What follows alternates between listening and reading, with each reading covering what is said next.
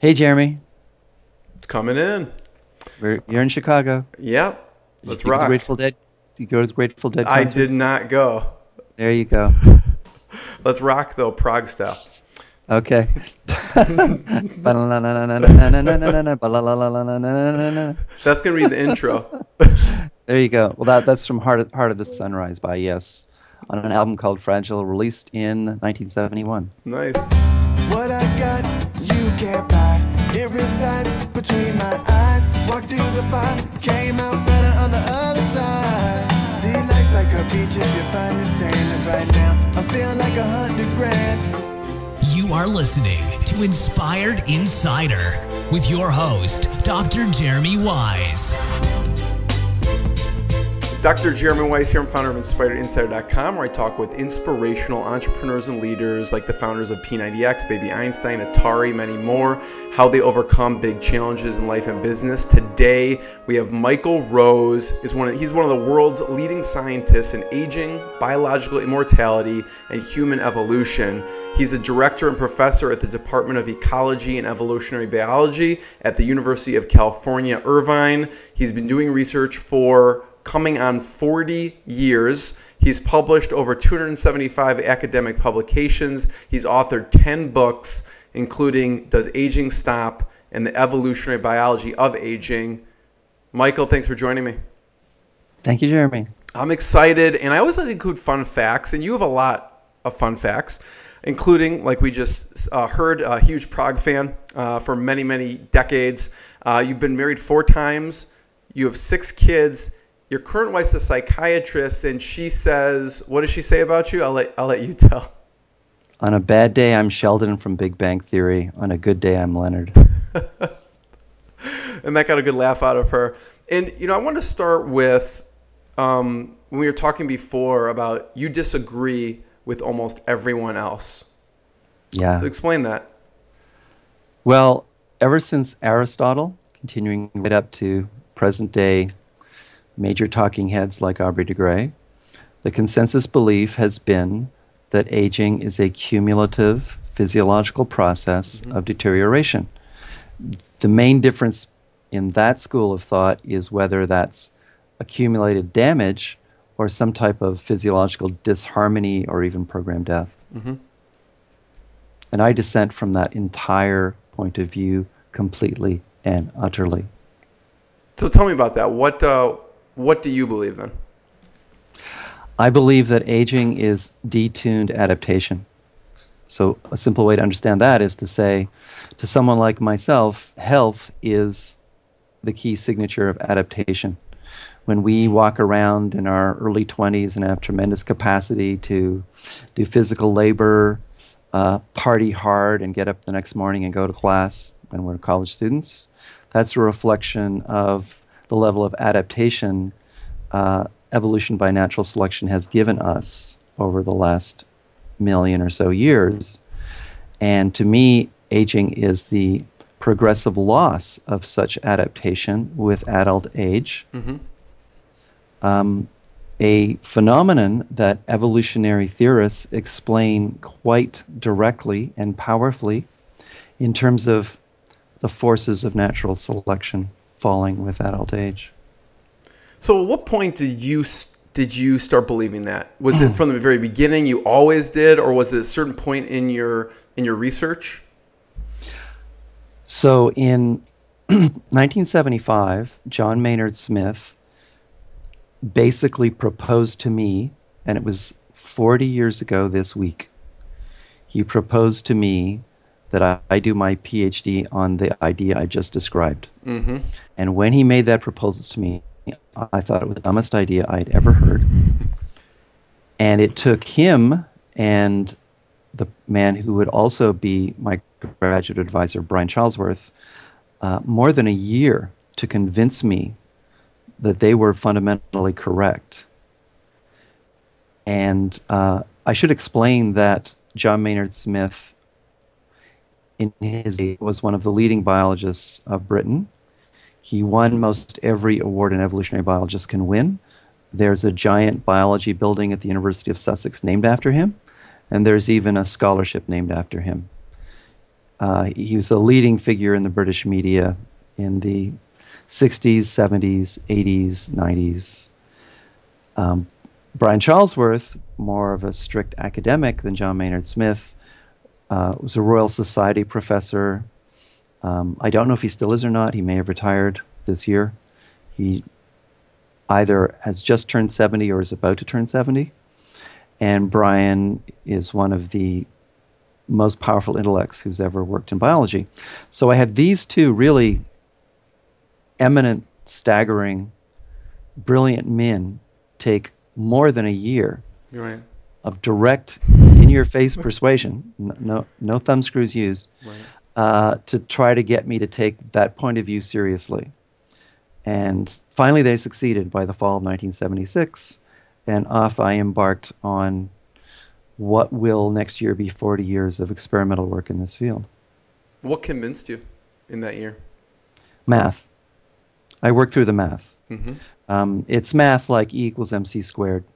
Yeah. It's real math, not not frankly the cartoony to lame math that biologists often use to entertain, convince, or delude themselves with.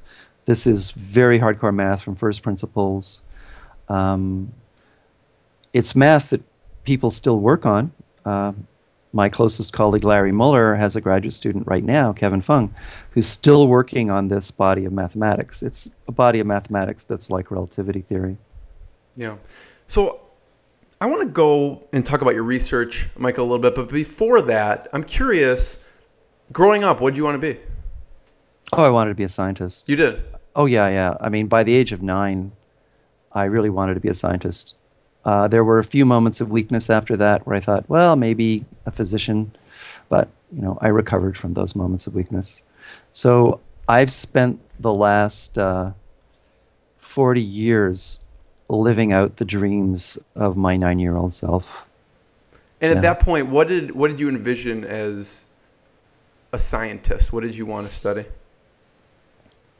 When I was nine years old, uh, what I probably liked best was astrophysics. Mm-hmm. Yeah, I was very impressed with astronomy, and I had this giant book by Fred Hoyle, a very famous 20th century astronomer, astrophysicist, called Astronomy, and lots of pictures, and uh, that got me totally infatuated with uh, not only astronomy but also science, because in that book, Fred Hoyle explained different theories, firstly of the solar system, going from the traditional geocentric model to the Copernican model. And then he also explained everything up to and including the Big Bang Theory, which he was not a fan of. Um, from there, I progressed to university textbooks on uh, physics and astronomy when I was 10. Uh, when I was 10, I built a planetarium, you know, out of parts that were supplied to me by a hobby store. Um, when I went to high school, um, when I was 12, because they kicked me out of middle school, um, I, I was interested in all the sciences. Yeah. But as I as I went through, I really focused more on biology, and I think that's mostly because I had excellent biology teachers and terrible physics teachers. My chemistry teacher was about in the middle, um, and that that inclined me toward biology. So I went to college as a biology major in 1971. Nice. And so, did your parents do something in the sciences, or Not at at all. No. So for for most of my family, my my scientific career has been variously um, an embarrassment or a butt of jokes. Uh, what did your parents do? Uh, my father was a military officer, and then he became what in the rest of the Anglosphere is called a mandarin, what you guys in America would call a senior civil servant. Mm-hmm. Um, he left government service and soon thereafter became involved in a Quango, another word you don't use in the United States, uh, which means a quasi autonomous non governmental organization, which nonetheless serves the purpose of a government. Um, so, like NPR, National Public Radio, would be a Quango. Mm. Okay? So they recognized early on you had this gift for sciences. they recognized early on that I had this uh, obsession, which they tried to control. And I, I remember when I was 11 years old arguing with my father in a bookstore in Montreal where, where I wanted a book on cosmology, uh, and my father couldn't understand why on earth I would want such a book. That's a reasonable reasonable thought, actually. Um, so, what brought you to Sussex then? Uh, I did my PhD at the University of Sussex uh, because I turned down Harvard, uh, which um, I was choosing primarily between Harvard and Sussex. Yeah. At Harvard, there were then two of the very leading evolutionary geneticists in the world, Richard Lewontin and Richard Levins. And so Harvard then was just as awesome as it is now, if, if not even more so. Um, and instead of working with them, I went to the University of Sussex to work with John Maynard Smith and Brian Charlesworth, primarily to avoid the sociobiology controversy at Harvard, which was then so vituperative and destructive that it was being regularly reported on in the news media as an example of academics behaving badly. Hmm. Interesting. I, I described this decision, the first good decision of my life, in my book, The Long Tomorrow. That's how it opens, with me vacillating between Harvard and Sussex. What's the biggest learnings you had when you were at Sussex? Wow. so when I went to Sussex, I'd actually already been doing research for three years, starting as an undergraduate in 1973. Mm-hmm. And I'd done a master's degree at my undergraduate institution, Queen's University in Kingston, Ontario, Canada. So I had already learned how to do science, what science was about, Yeah. um, how to do theory, how to do simple experiments. At Sussex, I feel that I learned how to put it all together, how to make connections between hardcore math and very hardcore experimentation. And um, you know, you could say I've been coasting on that ever since. Uh, it was it was a truly wonderful intellectual experience. It really was. I um, it's a decision I will never regret. Um, you should understand that during those three years, I took one vacation, lasted one week. Um, otherwise, I worked, and uh, I had a fabulous time, working seven days a week. Um, What were the hours like? Like, were you working late in the evenings or what? Uh, my, my my hours would vary from eight to twenty four hours out of twenty four hours. Um, so 24 hours. Sure. Oh yeah, it was it was not unusual for me to stay up for 36 hours to do my experiments because I knew that the single most important thing in biology is scale of replication. Mm-hmm. Something that is only now starting to permeate academic biology with the advent of genomics. Yeah. Because genomics is a completely pathetic and ineffective tool if you just sequence one genome. Even at a thousand genomes, you don't really have enough. You need a million. So, just to give people a sense of what did the experiments look like Mm-hmm. when you were up for 36 hours? What were you doing? The number one, the number one thing you do when you're up for 36 hours is you're collecting virgins, and every fly researcher has done this. Okay. Okay, so Should that I be the title of this interview, Collecting Virgins, or would that give the wrong idea? that would give the wrong Oh, idea. okay. Uh, another area I've worked on is actually the evolution of sex and parthenogenesis. I read that, yeah. By virgins. Um, happy to talk with you on some other occasion about that, but that's even weirder than my work on aging. That's too bad because I had a question about that on here. So, oh, yeah, you don't want to get into that. I don't know. I think I do. But, um, um, so what does that mean, collecting virgins? For, for someone So- who doesn't know. Yeah. So a fruit fly female Yeah. emerges from a pupal case, somewhat like a butterfly emerges from a chrysalis. Mm-hmm. And in the case of a female fruit fly, at the kind of room temperatures we work at, she's going to stay a virgin for at least five hours. Many of my colleagues count on six. I don't. I go with 5 Mm-hmm. So that means if you have a whole bunch of female flies can be emerging over a period of 36 hours, you basically have to be collecting them, start collecting them in rounds every five hours, and it can take an hour and a half to two hours to sex the flies and separate the males from the females, Yeah. so that your females will actually be virgins. So that's just one way you can stay up for 36 hours straight. I, I've had graduate students who've broken through that limit by far. I had one graduate student once stay up for more than 70 hours straight. Wow. collecting virgins. Well, Uh, um, then you went on to Madison, I went into Madison, Wisconsin for a postdoc. which I went to school in Madison. Yeah, Awesome city, yeah. fantastic. Um, loved it. And uh, there I was a student of the late James F. Crow. And uh, uh, he was my postdoctoral advisor. But what I was actually doing was sneaking down to Sewell Wright's office two floors down. Mm. Now, Sewell Wright is, um, many of us believe, the greatest American biologist of the 20th century. Really? That includes, by comparison, Jim Watson, Thomas Hunt Morgan, and everyone else you would care to name. hmm Um, Sewell Wright was an intellect on the same scale as Isaac Newton or Albert Einstein. Wow. He was one of the three most brilliant biologists who've ever lived, the other two being J.B.S. Haldane and R.A. Fisher. And I academically descend from all three. hmm That's amazing. Uh, So Sewell Wright was my uncle at University of Wisconsin Madison, uh, where James F. Crow was playing a paternal role. Um, I'm a, a grandchild of J.B.S. Haldane because I'm a student of John Maynard Smith, who was a student of J.B.S. Haldane. Mm. And I'm a great grandchild of R.A. Fisher, um, who was the most important figure for a man called Thoday, who was the advisor to another one of my advisors, Brian Charlesworth, who was my most important advisor in my PhD. So I'm connected to all three of them, but Yeah. I got to hang out primarily with Sewell Wright um, when he was about 90 years old Wow. and still so brilliant that he would speak to you in perfect sentences and paragraphs when you would ask him a question. So tell me about some of those conversations, Michael. Well, the key to those conversations Yeah.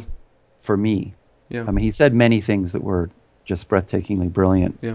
Um, but he led me away from the primary focus of my doctoral research, which was quantitative genetics, toward a field which then didn't really have a name, but I've been one of those who's helped name it, which is a field called experimental evolution. hmm And experimental evolution is an approach which is spreading throughout biology.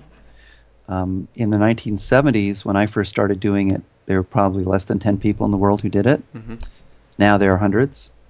Um, and experimental evolution, to those of us who do it, is biology done right.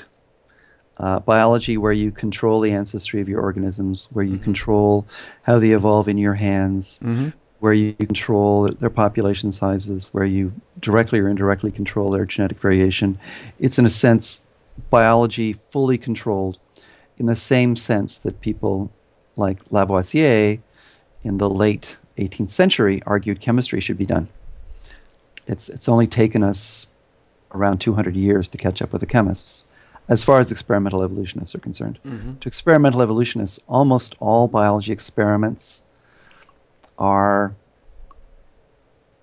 not even as good as stamp collecting um, because they don't properly control enough variables hmm to do with the biological material. So most biologists work with inbred garbage.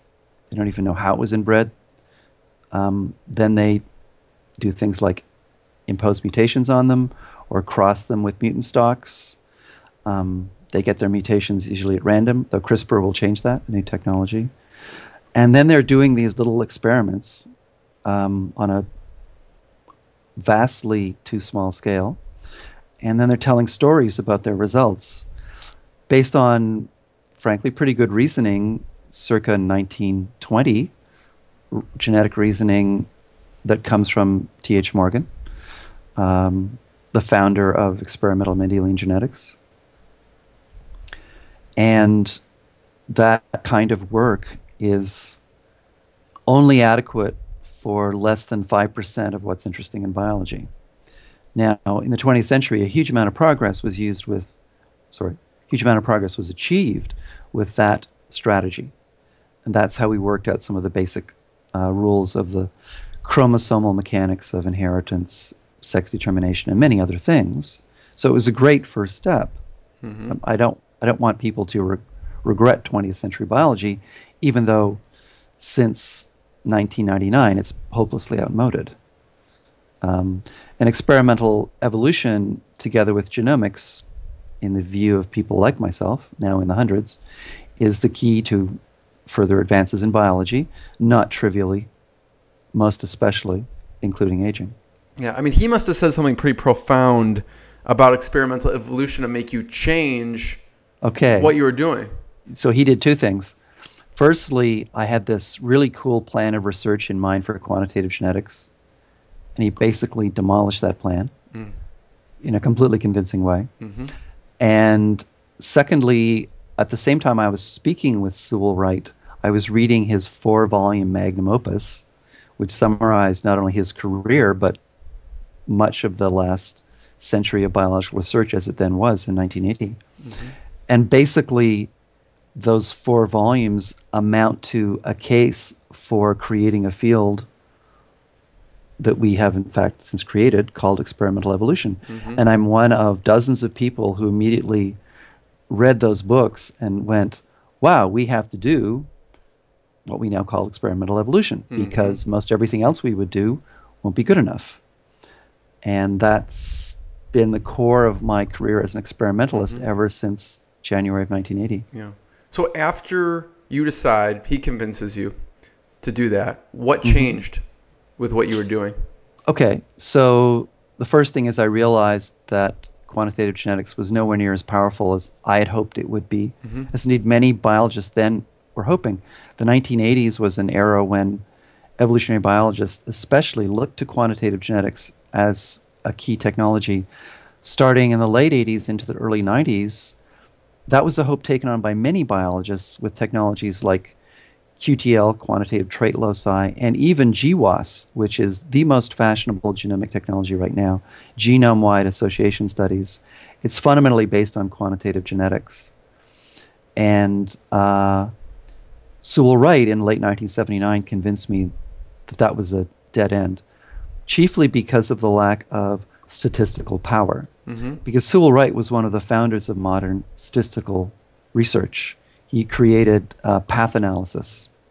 Um, he was one of the, together with R.A. Fisher, one of the leading figures in the development of multivariate data analysis. Yeah. So next after Madison, so you go to Canada, right? You become a Yeah. professor in Canada? Yeah, I'm Canadian, Yeah. out of the closet. You go back to Here we your are. back to your roots? I'd never lived in Halifax, Yeah. which is where the university I went to Yeah. was. Halifax is a wonderful city. Canada has many absolutely wonderful cities to live in for at least two months of the year. July and August. That's how Chicago is. Yes. I can relate. Uh, no, no, no, no. Chicago summers are too hot and sweaty. No, no, no. In, in Canada, you're mostly, uh, except for Toronto, you're mostly to the north of too hot and sweaty in July and August. So July and August, from Victoria and Vancouver on the west coast to Halifax on the east coast, those two months, Canada is paradise. Okay, and uh, the rest of the Canadian year is, you know, a climatic disaster. Uh, you go from harsh and unpredictable fall and spring to predictably Arctic winter, uh, except for Vancouver and Victoria, where they skip the predictably Arctic winter. But you still get the, the harsh spring and fall by the standards of where I now live, which is Southern California. So Halifax is actually a, a, wonderful, wonderful city. Um, and uh, if I could handle the Canadian winter, it'd be a great place to retire to. Uh, while I was there from 1981 to 1987, um, I got to build up uh, experimental evolution Yeah. in my lab and in general. Um, and I also, uh, at that time, for a period of about six years, I actually worked on a number of different topics, not just aging. I also worked on speciation, the origin and uh, maintenance of sex, um, and human evolution as well. Um, and I was lured away from uh, Canada to the United States, back to the United States, by a combination of multiple things. Uh, one was the opportunity to get funding on a scale of 10 to 100 times greater than I had in Canada, to have vastly more colleagues in my own department. The department I was in in Canada was a very good department, um, Just smaller. but well, smaller in my field. So I now am in a department of about 40 ecologists and evolutionary biologists. Yeah. Your normal biology department has two to four such people. yeah. Um, more resources and people. Yeah. Oh yeah. So you know, so the key to understanding the United States' great success in science and technology is firstly scale, Yeah. and secondly the fact that the United States buys many of its best scientists, engineers, and technologists from other countries, and that's. I mean, you can start with Einstein, and go down from there. So, what were some of the breakthroughs you were seeing when you were still before you came to the U.S.? hmm What were you seeing in, in your Canadian research labs?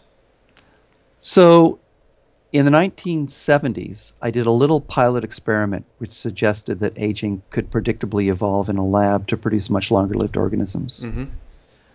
And I did that on a scale where I got, you know, maybe 15 to 20% increases in lifespan in one selected line In fruit flies, you're talking. in fruit flies. Yeah, okay. And my entire experimental career in, is about fruit flies. So whatever I say about experiments, it means in fruit flies, Okay. Drosophila melanogaster. Though we have dallied in other Drosophila species as well, Mm-hmm. mostly Drosophila melanogaster. And it's the lab fruit fly that back in the day, in the 60s and 70s, uh, high school students in the United States used to do experiments with. Not so much anymore, but back in the day. Yeah. Uh, so when I was at Dalhousie University in Canada in the early 80s, I basically showed that you could reproducibly, with multiple populations, produce longer lived organisms. And we started pushing that, and it didn't matter how hard we pushed, the flies would just live longer and longer and longer and longer. Which basically said that you know there are no physiological brakes on producing a ma- much longer lived organism uh, evolution doesn't resist producing Methuselah organisms. It just doesn't normally bother to, Mm-hmm. because that's not what it's focused on um, in terms of the forces of natural selection. So um, by 1983, just two years into my days in, back in Canada, I was already being contacted by American universities about coming to them, to their departments. And basically, UC Irvine won that competition. And they offered to hire me by early 1985. And then it took them two and a half years for me to get a green card to arrive in Southern California Mm-hmm. in the summer of 1987, where I have since remained. So, for you, when you increased the lifespan by 15 to 20 percent, were you happy with that? Were you impressed with that? Did you what what were you what were your expectations? Let me put this in context. Yeah. Um, I did that experiment without even telling my doctoral advisor I was doing it. He'd gone away to North Carolina on sabbatical. And the reason why I didn't tell him is he, like most every other biologist in the world, didn't think an experiment like that would work. Because he thought you'd have to wait too long for rare mutations Mm-hmm. that would give you increased lifespan. But my quantitative genetic work was already suggesting to me, at least, that in fact an experiment like this would work. What I was reading of the literature, uh, published literature, at that time suggested to me people had almost done this experiment already. So I thought, what the hell?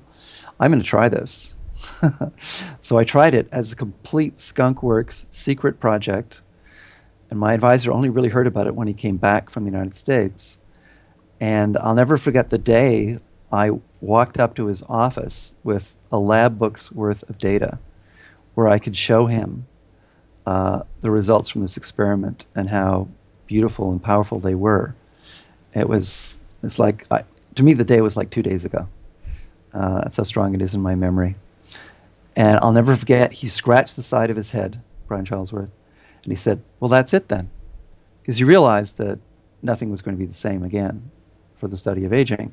Because what I'd done in that experiment on a very small scale was show that evolution was the complete and utter master of aging and not anything to do with telomeres, mitochondria, um, cumulative damage, um, lipofuscin. Pick your molecular cellular mechanism. I have a simple way of explaining this now, which is to say, you know, it's an important thing, Jeremy, for all your listeners to understand is there are lots of organisms of every kind, except vertebrates, that do not age at all. Mm-hmm. You know, there are sea anemones, which are multicellular animals. Some species of sea anemones do not age at all. There are trees that do not age at all, trembling aspen. There are shrubs that you see uh, routinely, like juniper, don't age. It goes on and on and on. Mm. And those organisms, like sea anemones, have the same basic cell and molecular biology that we do. They have linear chromosomes, they have telomeres, they have all the same have mitochondria, they have all the same sources of molecular damage. Don't age. Why not? Because evolution says, hell no, I don't want you to age because you're the kind of organism which evolutionary biologists call a fissile organism that splits exactly in two when reproduction occurs. So if evolution were to let those organisms age, the species would go extinct. Mm-hmm. So because evolution is the all-powerful master of life, you know, it's really the deity, if you will. Um, it says basically, zap, you're not going to age. If there's a mutation that occurs in any one of your lineages which causes aging, it will go to extinction. And the only surviving fissile sea anemones are the ones that do not age at all. And in effect, what I was doing with the fruit, fly, fruit flies was a microcosmic god version of what evolution has done over millions of years mm-hmm. for fissile sea anemones. I was saying, okay, fruit flies, slow down the aging. Okay, stop it. Just don't do that aging thing. Wait for it. Wait for it. No, no, not yet. Not yet. Don't start aging until after you have your first shot at reproduction. And my doing that experiment actually comes directly from the math that I was learning 40 years ago in the process of convincing me to go to Sussex to work on aging with Maynard Smith and Brian Charlesworth. Yeah. Comes directly from those equations, just like the atomic bomb comes directly from E equals mc squared, mm-hmm. where directly in both cases means you have to really understand the equation, then you have to think about how you're going to make things work. Uh, and thinking about how you're going to make things work with the atomic bomb took about 12, 15 years from the early 1930s to 1945. Didn't take that long in my case, but I, like, you know, Oppenheimer and the other people in the Manhattan Project, was playing off of a fairly simple equation of huge power Right. huge power. Hamilton's forces of natural selection are to aging as E equals mc squared is to the sun, Mm-hmm. nuclear weapons, and the nature of the universe. Yeah. Michael, this is um, And I was basically the, the lucky person who figured out how to exploit those equations.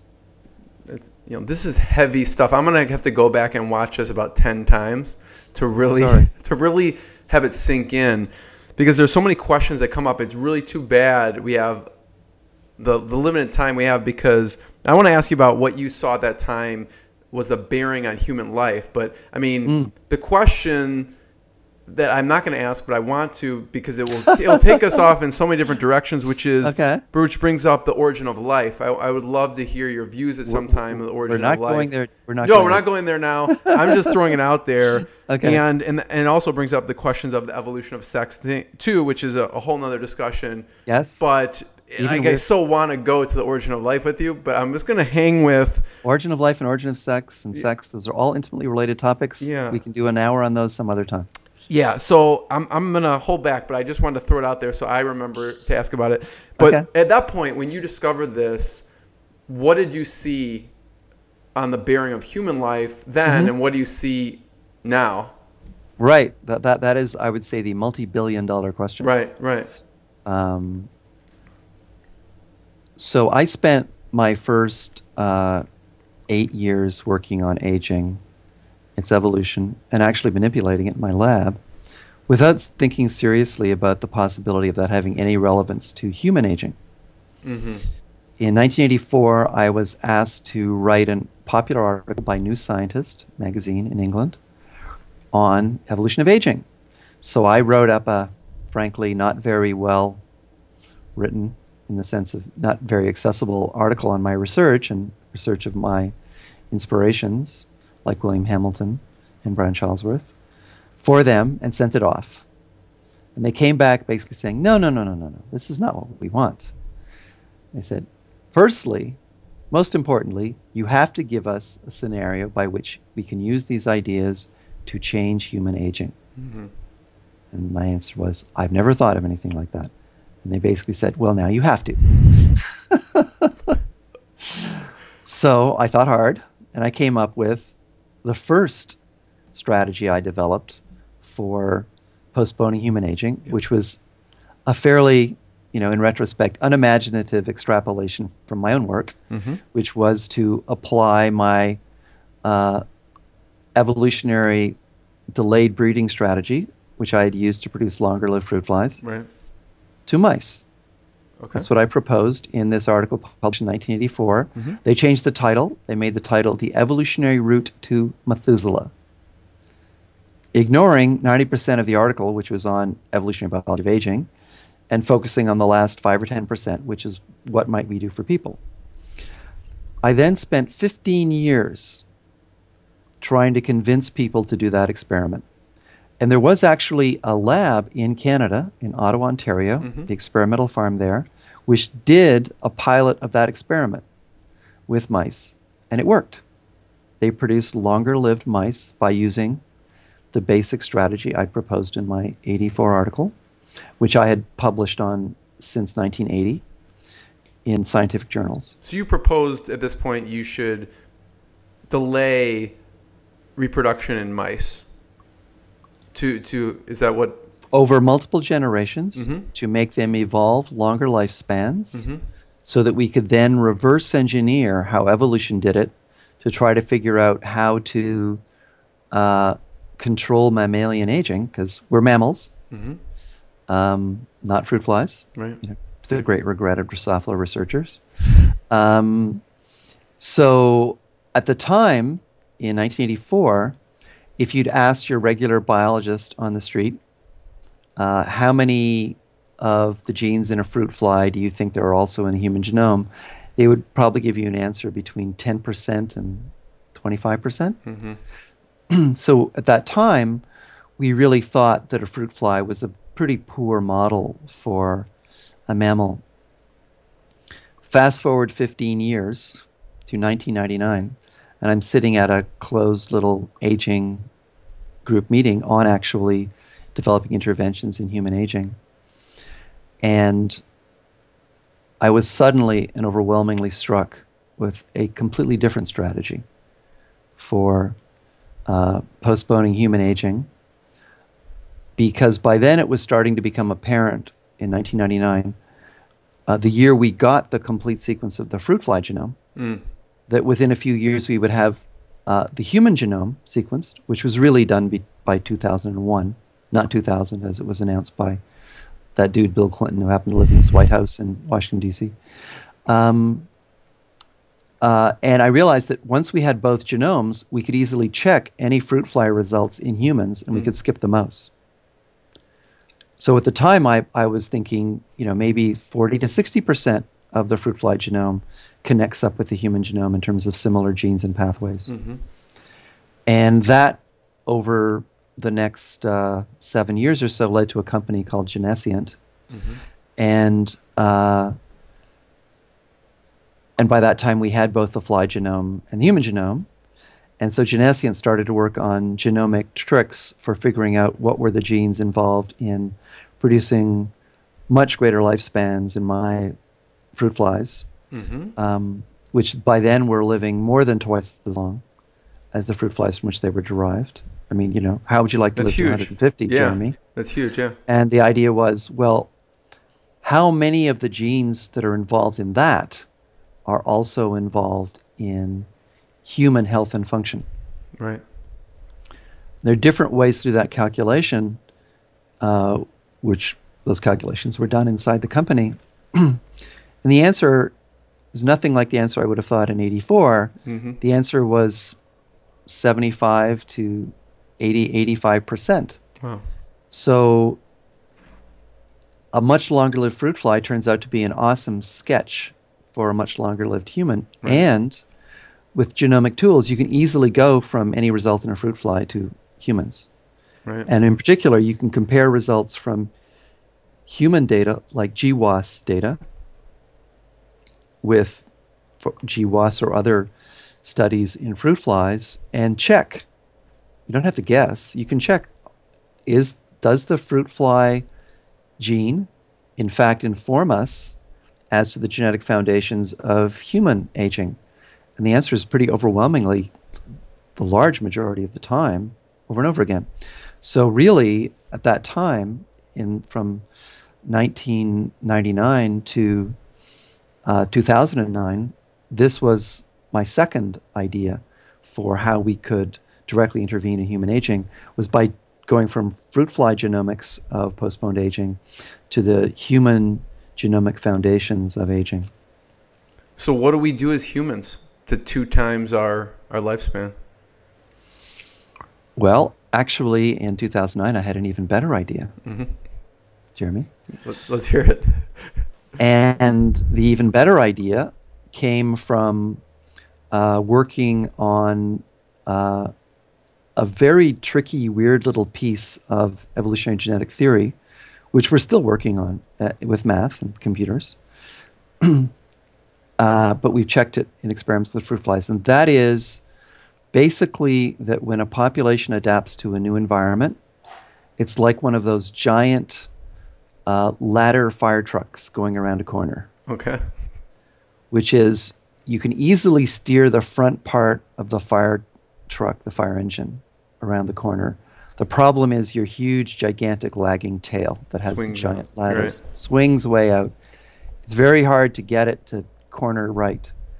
Well, that's in general true of species that have undergone a major environmental change in their recent evolutionary history. And you and I happen to know such a species very well, and that's humans.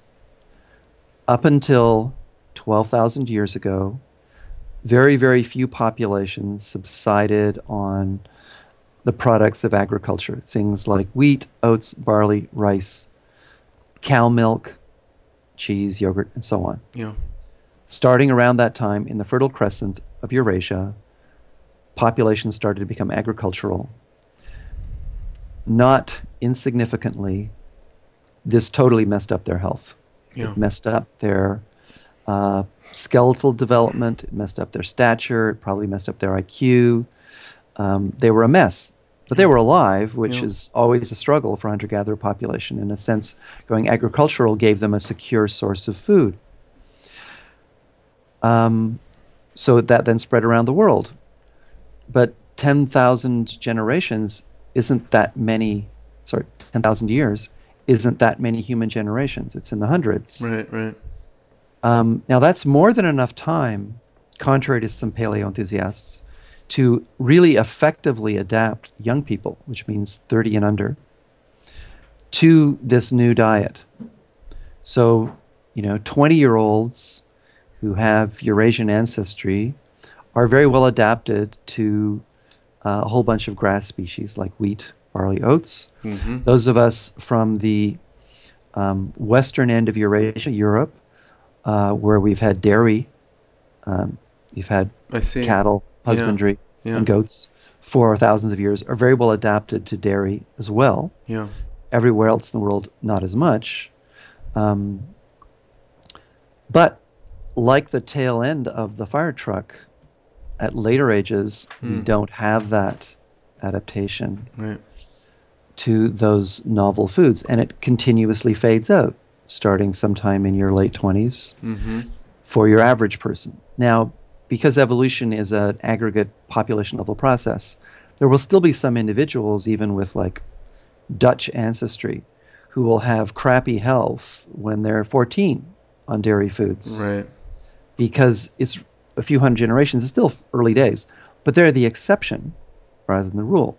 By the time you get to be my age, 60, you've effectively lost adaptation to dairy foods, grass derived foods, Really. legume derived. Yeah, it's gone.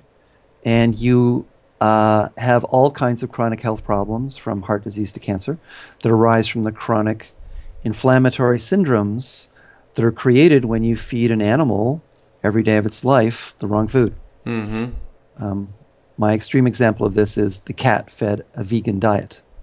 That is a messed up and soon dying cat. Mm-hmm. Okay?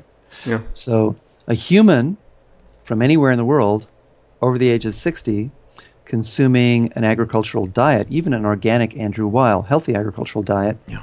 is like a vegan cat. We are sick and dying. So I basically said to my closest friends, wow, we do this and we're going to transform our health. And a few of my nerdiest um, friends and myself, we started to do this.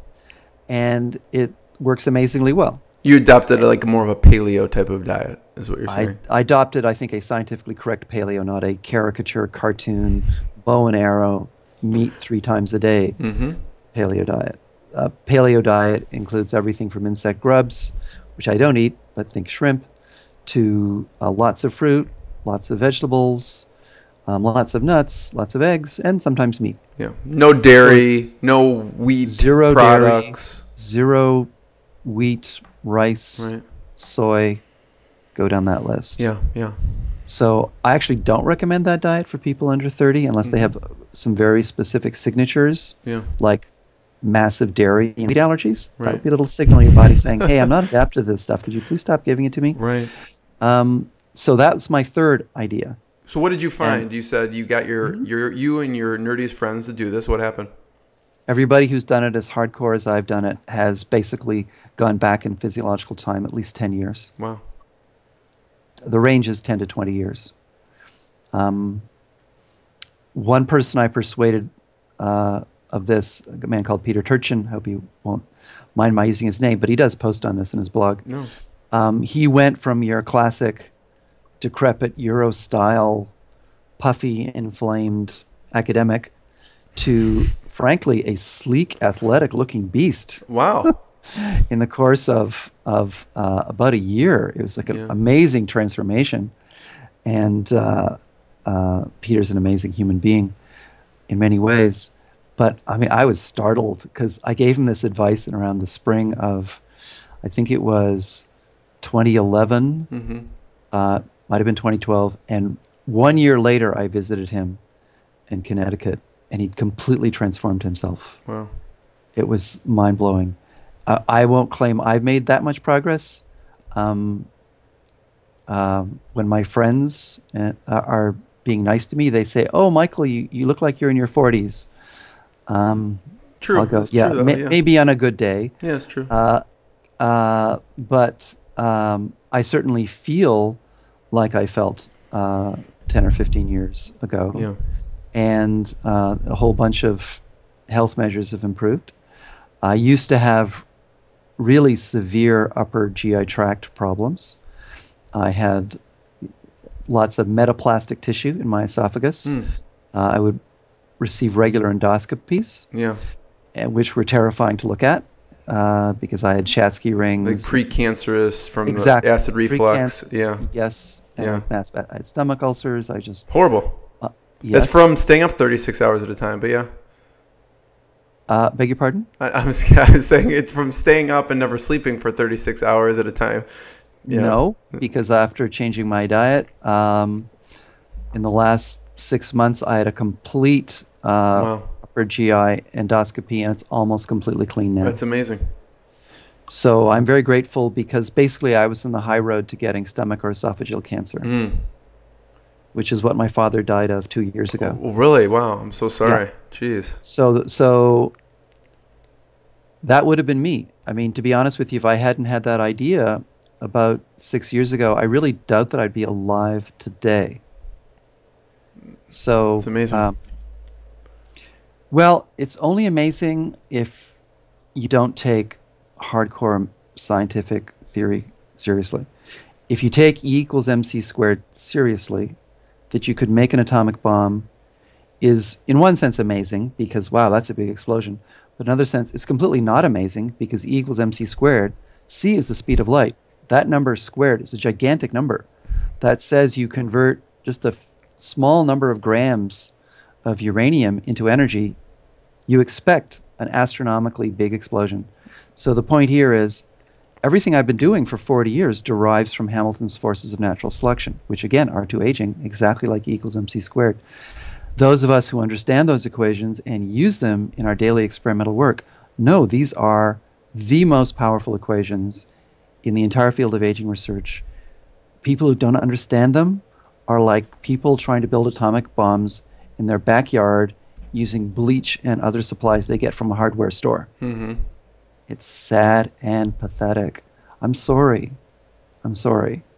But it would be like people charged with the task of building a gigantic bomb in the 1940s for the Allied powers, but only using Newtonian physics and chemistry. They really couldn't do what the nuclear physicists could do Mm-hmm. Because they didn't have the right science, not even close.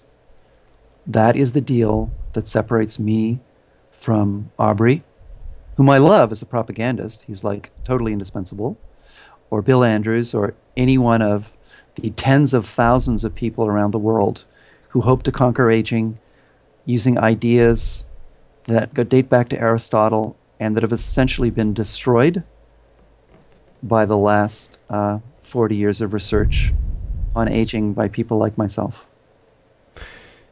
How did you come up with the distinction there of at a certain time period you can now, you know, before like age 40 or 35, it's mm-hmm. fine to have the dairy and mm-hmm. the the wheat, mm-hmm. um, and then after not, and then two, like let's say your child now, because they were born later, when they're past 40, are they going to be fine because they've had more time to adapt, or, or, you know, they no. were born later? Do you know what I mean? Like yeah, uh, that's a common misunderstanding, yeah. Jeremy. Uh, to produce a much longer lived organism by evolution takes dozens to hundreds of generations. It's Sure. not something done in one generation of reproducing later. Yeah. Um, so it's not an immediate effect. So if you look at the data from fruit fly evolution experiments, it takes about 10 generations of delayed breeding to produce an effect. And then it accumulates. The more generations after that, the farther back you can push aging. So we now have flies that are uh, have a prolonged adult period before aging ever starts. Mm-hmm. They got no aging for the first few weeks of their life at all. Um, so, but it's not something that you can give your children by reproducing later. Mm-hmm. It's nothing like that. Mhm. Now, where, where does the idea of 30 or 40 come from? Yeah. Well, y- you can pretty much plot forces of natural selection acting on human populations. And Hamilton actually did this in 1966 in his landmark publication, where he first derived the forces of natural selection mathematically. And natural selection in human population stays really quite strong into our 20s, and then it kind of falls off a cliff. And, uh, you know, by our, our late 30s. So we really actually have a pretty good guarantee that people with long agricultural ancestry um, are going to be pretty well adapted to eating dairy and grass derived foods into their 30s. And uh, around the age of 40, when you first start to, you know, lose your ability to sustain concentration, when you don't have the physical stamina you had, when you don't have the peerless digestion that you might have had as a, you know, 20 year old kid in college surviving on Coke and pizza. Um, you know, Right. it's around when you're 40 that Coke and pizza kills you, right? Have Coke and pizza for a meal, and it's like, oh, what did I just do to myself? Right. And that's when you enter, you know, the Hamiltonian zone of having to revert back in time. I see. Yeah. And it's not, an, as I was trying to indicate earlier, it's not exact. So some Sure. unfortunate people are going to be suffering from an agricultural diet in their Yeah. teens. yeah. And other fortunate people might be good into their 50s. Yeah. But on average, it's going to be somewhere in middle age. Yeah. And what I've seen with my friends who've mostly done this transition in their 50s, like as I did, Right. is the benefits are really staggering. I mean, they're obvious. You, you get a, a physiological reversal in terms of your day to day functioning on the scale of a decade, Hmm. at It's least, amazing. Yeah. i- if you're strict about it. So you were saying you were bringing up Aubrey de Grey and Bill Andrews and um, Immortalists. the Mortalists. So when you're sitting around the table, you're friends with Bill. When you're sitting around the table at dinner, tell me what that debate looks like. Because obviously, because of his research and what he's doing, he's gonna, you know, may disagree with your statement, and you're gonna disagree with his. What What does that conversation look like? Um, so, up until the 1990s, when something really radical happened, which I can get to, Go ahead. Yeah. um, most people, myself included, by the way, so I was I was with Bill. Uh, felt that what people like Bill were doing with telomeres was part of the aging story mm-hmm. and that what the work that I did was basically saying this is why evolution by natural selection lets those physiological processes destroy us. Okay? Mm-hmm. Because it's a simple verbal interpretation to say that Hamilton's forces of natural selection are the explanation for why the house falls apart, the car, car falls apart, or the telomeres get shaved off progressively. And therefore, what we need to do is to go after each of those physiological processes and stop or curtail them, which is pretty much what Aubrey de Grey thinks. Um, interestingly, Aubrey and Bill completely disagree with each other about telomeres. Aubrey thinks their uh, telomere rescue is dangerous, and Bill thinks it's the key. I think they're both wrong.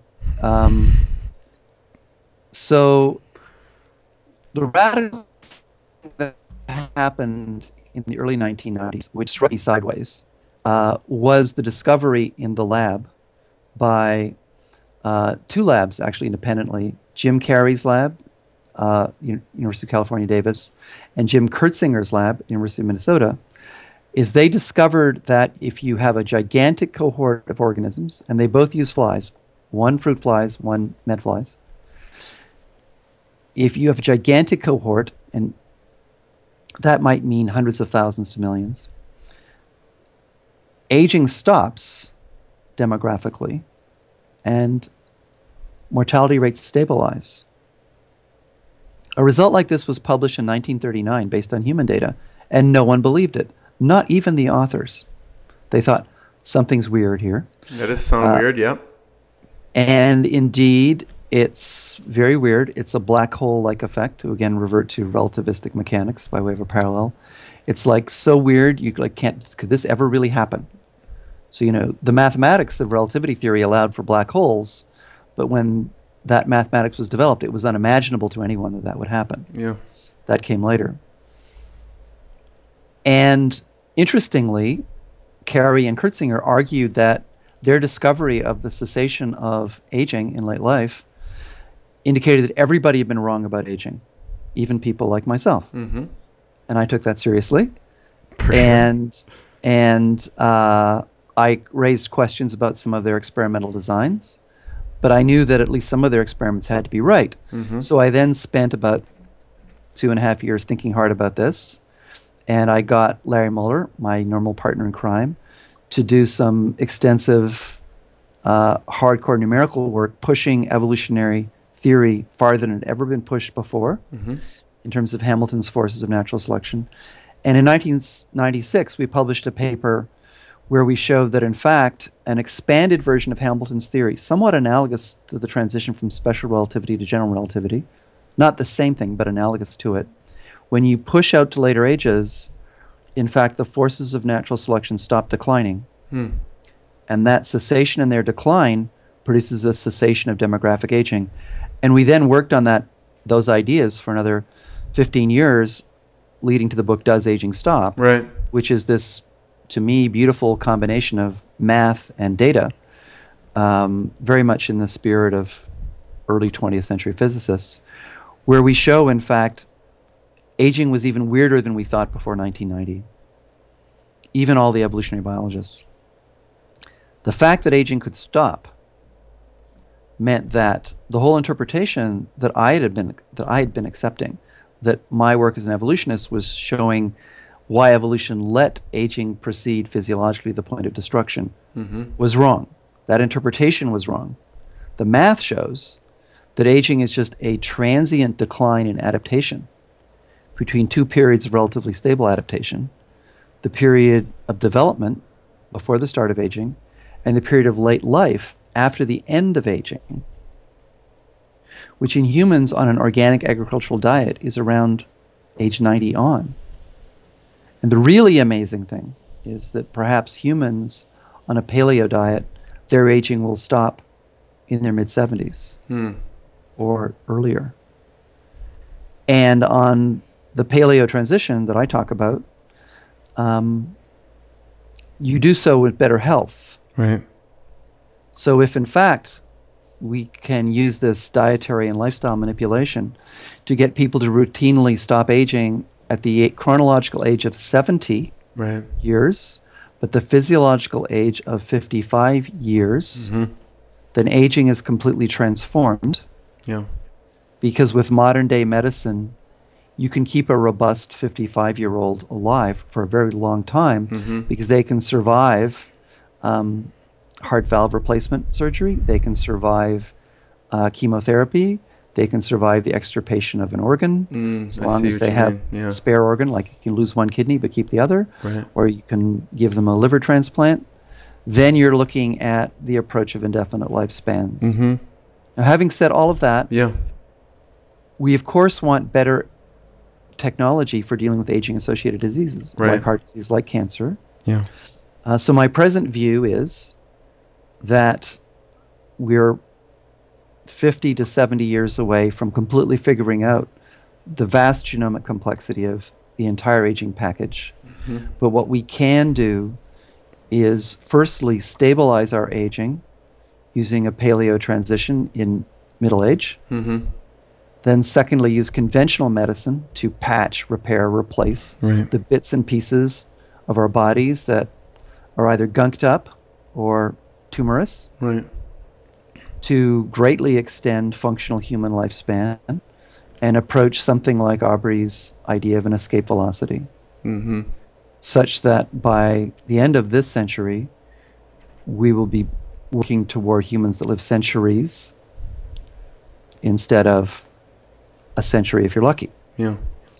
I do think that people who follow my advice now and are, you know, about your age, Jeremy, uh, could easily live to be 110, 120, and your children could easily live to be 150 or 200, and it would be cumulative. A simple metric of this uh, is between 1900 and the 1990s, the number of deaths in Western industrial countries like the United States or England due to infectious disease was cut by 90%. Well. Yeah. So in 1900, major causes of death were tuberculosis, pneumonia, and influenza. Yeah.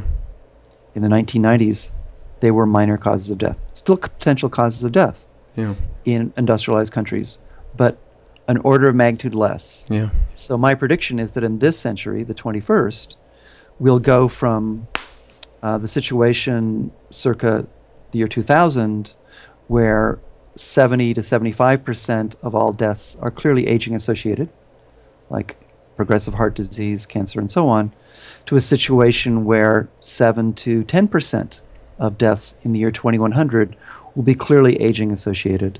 The same thing we did with Yeah. infectious disease in the 20th century. Yeah. So at that point in time, your biggest health risks are driving freeways. Yeah, and um, Michael, we're right at the hour, um, so I want to respect your time because what you just said brings up about ten other questions that I have. So I'm not going to ask them, but I'm going to throw one out, not to have you answer it, but just so I remember it. You know, that brings up like from what you just said. Obviously, the paleo transition diet is huge, and so what brings up to me is well, what else besides the paleo transition will help halt aging and then from reading all your works obviously well right now maybe halting aging could be at 110 or 130 but we don't know because we're not there so how do we get to the halting aging like you said at 70 or 50 so that we can have that sustainable Okay. You know- uh, I, I failed to convey something. yeah So I was switching between the age at which aging stops and the age at which you die. So you understand that uh, certainly European women on an organic agricultural diet like Jeanne Calment stop aging in the early 90s, Mm-hmm. but their likelihood of dying in any one year Mm. is between 35 and 40 percent. Jeanne Calment lived to 122 because she got lucky every year. Really. Mm. She beat the odds every year.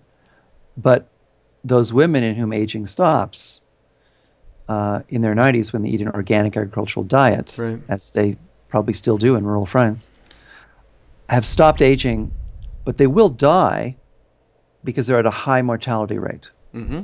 So my dietary lifestyle uh, advice doesn't end the risk of dying, including dying of aging associated disease. It just stabilizes it. Right. So the idea is if if my basic lifestyle advice, let's say it stabilizes your aging process at the age of 60, Right. my age right now. Right.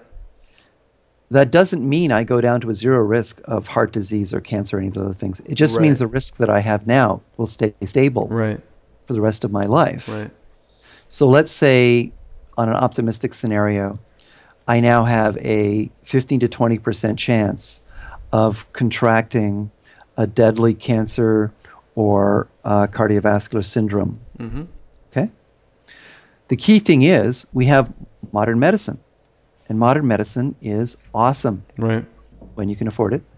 And we now have a tremendous ability to cut out cancer. Not all cancers, obviously not brain cancer.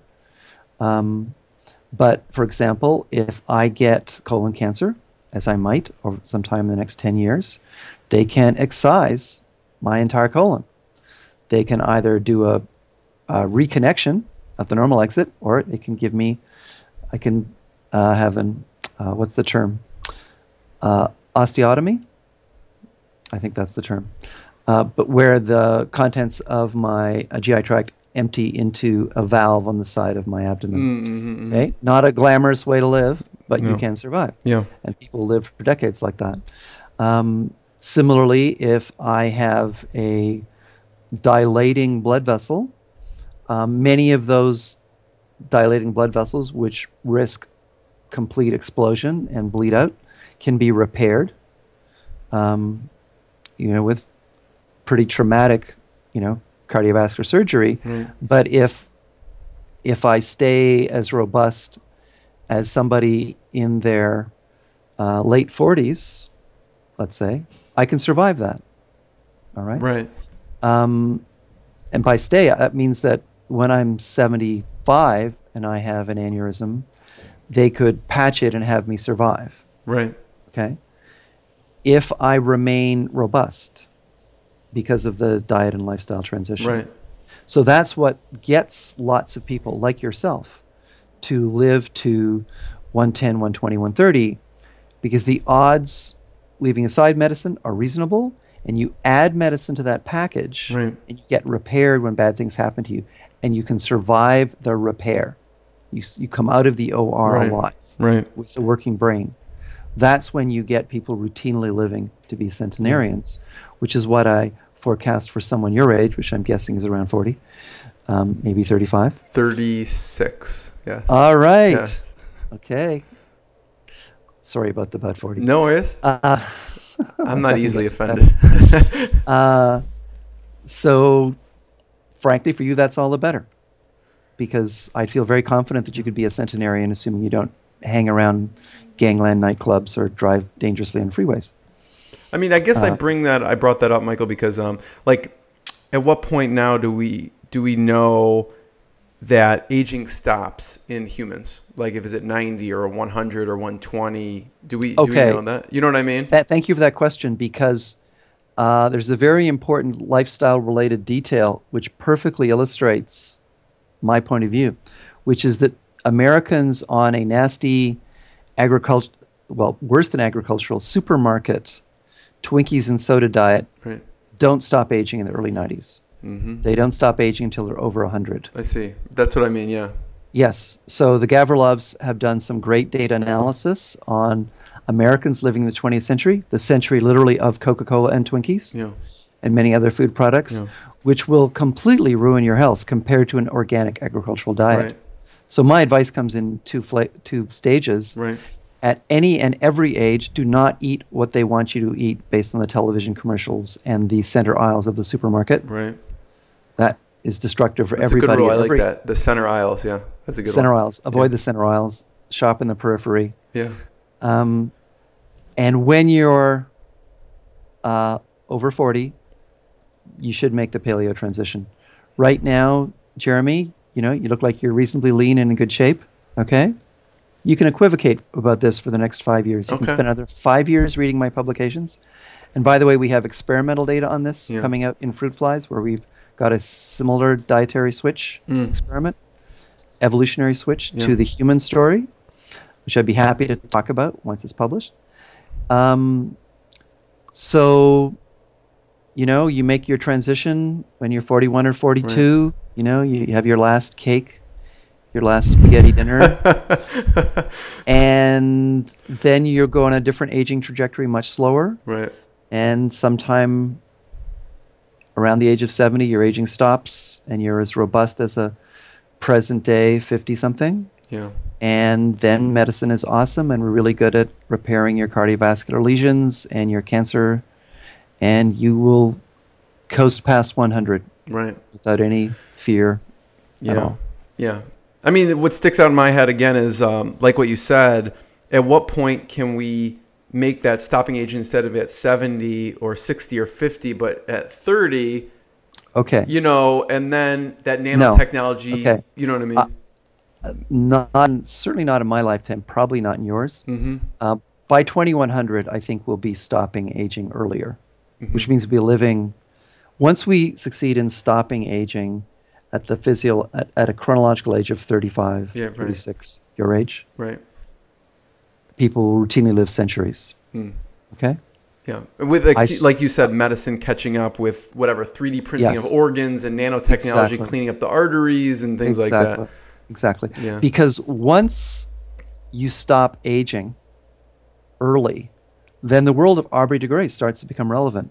Because repairing whatever problems you have is obviously the way to go. Right. The problem Aubrey faces is that damage and repair have nothing to do with the underlying aging trajectory. That has to do with evolution. Yeah. Yeah. Sorry, Um, Aubrey. no, Aubrey comes in later in the story.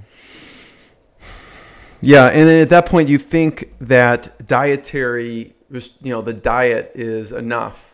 Like like you said, in X number of years, when we stop aging at 35 or 40, do you think the stopping aging, uh, the diet is going to be enough to to get to that point? No, no, no, no, no. So right now, and indefinitely in the future, I predict, you won't be able to do much better than stopping aging in your late 60s through Right. diet and lifestyle alone. Mm-hmm. Getting, pushing the age at which aging stops to earlier ages requires the kind of massive genomic analysis that we're going to be doing over the next 50 to 70 years in the bulk of this 21st century. Yeah. I'll be dead before that's done. I'm very confident. Okay. Once that's done, however, we'll be routinely stopping aging around your age Mm-hmm. and then indefinitely repairing you Right. so that somebody who turns 35 or 36 in the year 2100 could easily live 300 or 400 years. That's what I'm suggesting. Yeah. Yeah. Well, I can go on and on and on for 36 hours probably, and I would I would challenge you for that. But um, I know you have to go. So um, where can people find you? Where should people go to find out more? Go to the website 55 theses t h e s e s uh, dot org you can also just go michael rose aging three words and that website will turn out your top 10 hits where i explain everything i've said to you step by step Mm-hmm. Mm-hmm. Michael, it's been an absolute pleasure. And if you're ever open to talking about the origin of life and the evolution of sex, I am Oh. definitely uh, anytime open anytime to just it. not today and uh, you know, thank you so much again. I really appreciate it. my pleasure jeremy All right. bye What I got, you can't buy. It resides between my eyes. Walked through the fire, came out better on the other side. See, life's like a beach if you find the sand. And right now, I feel like a hundred grand.